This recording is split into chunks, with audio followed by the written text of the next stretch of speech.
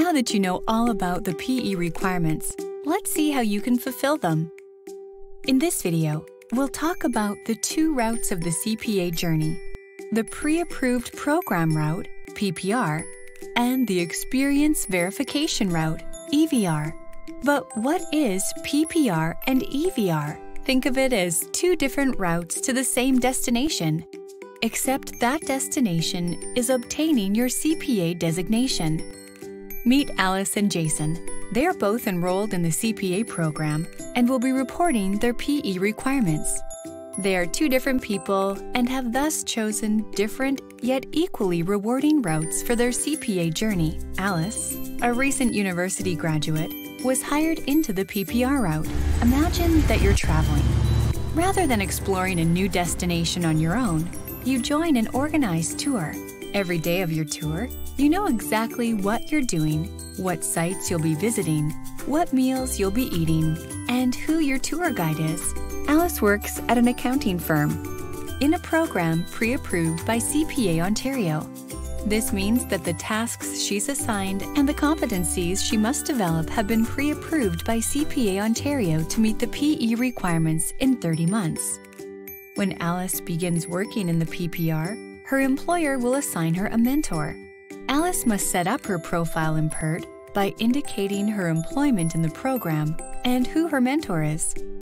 Once her employer confirms her enrollment, this will automatically set her PER start date and she can begin capturing her experience in PERT.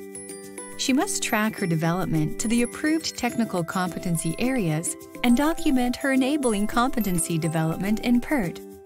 Jason, on the other hand, chose to travel off the beaten path and explore a more scenic route on his journey to become a CPA. He wants to have more flexibility over his PE and selected EVR.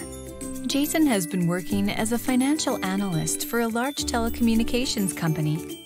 Before setting his PER start date, Jason must first check with CPA Ontario to see if his job allows him to begin reporting.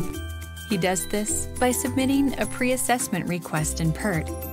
Once he receives the green light, Jason can choose his own mentor, either in his company or within his professional network. If needed, CPA Ontario can also assist with this process. Once he has indicated his mentor in PERT, his PER start date will be automatically set and he can begin capturing his experience in PERT. Jason must document his work experience in PERT and report it to CPA Ontario for assessment. More on this later. One of the benefits of this route is the flexibility to go at your own pace.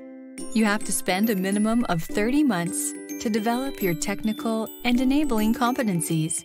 But if it takes you longer than 30 months, then that's okay too.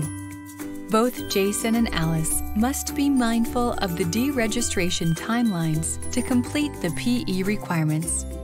We hope that you now understand the difference between PPR and EVR. Please remember, both routes carry equal weightage towards the CPA designation. You can choose either route or a combination of both based on your preferences. Up next, PERT and reporting to CPA Ontario.